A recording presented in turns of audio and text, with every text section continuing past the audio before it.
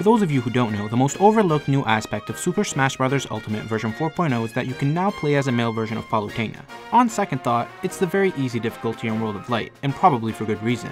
In any case, everyone's too busy testing their buff low tier mains in the new online tourney, featuring higher stakes, more consistent rule sets, and somehow less lag than quick play with the added bonus of no GSP. If you are into pointless point based systems, try the new and improved Spectate mode, featuring full gambling to keep you invested in watching the game you should probably rather be playing.